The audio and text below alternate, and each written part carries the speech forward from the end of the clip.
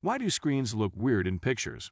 Ever since I was a kid and got my first camera, I've been wondering why computer screens and TV screens look distorted and weird when we take a picture of them. Now, after 15 years of photography experience and having taken more than 100,000 photos, I feel qualified to explain why that happens. How computer slash TV screens work. Before I can explain why that happens, I need to explain how screens of digital devices work. The screen of your laptop, monitor, TV, and phone is always changing. All these devices have a set refresh rate, ranging from 50 Hz on older devices to up to 360 Hz on newer high-end monitors and TV. The refresh rate is basically how often the device is able to change the image of your screen per second.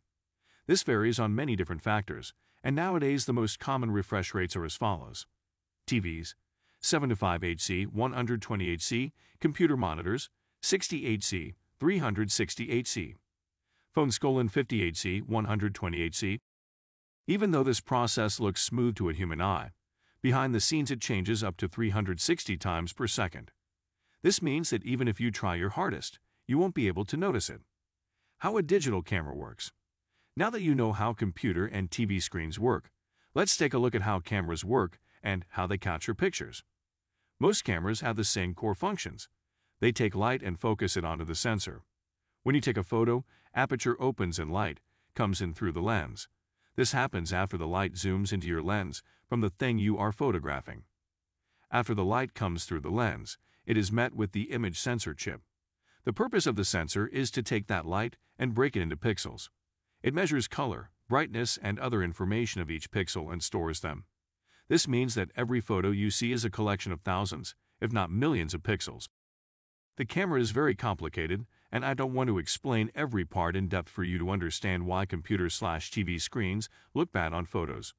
However, you should understand how the shutter speed works, because this is related to that. Shutter speed is basically the amount of time that the shutter is open. Basically, it means how much time does your camera spend taking that picture. The longer it takes, the more blurred the photo will be. Most modern DSLR and mirrorless cameras have a very fast shutter speed, ranging from 1-4,000 to 1-8,000. This means that it takes the camera 1 slash 8000th of the second to capture the image. So, why do photos of screens look bad? As we mentioned earlier, the image on your TV slash laptop slash computer screen is always changing at a rate between 50 Hz to 360 Hz. After that, we talked about how the shutter speed works in cameras. How do I take good photos of computer slash TV screens? There are several ways to get good photos off of screens with your phone or DSLR slash mirrorless camera. To take a photo with your camera, first of all, your shutter speed has to match with the refresh rate of the screen you are trying to take a photo of. If they don't match, you will see dark spots and the Moire pattern will happen. To be able to do this, you need a camera that lets you adjust the shutter speed of your camera. If you don't have this option on your phone, try setting it to auto. If your camera doesn't have that setting, to reduce the Moire pattern, you can try adjusting the brightness, contrast, and distance between the camera and the screen. You can play around with them until you find an angle that doesn't have too many noticeable dark spots.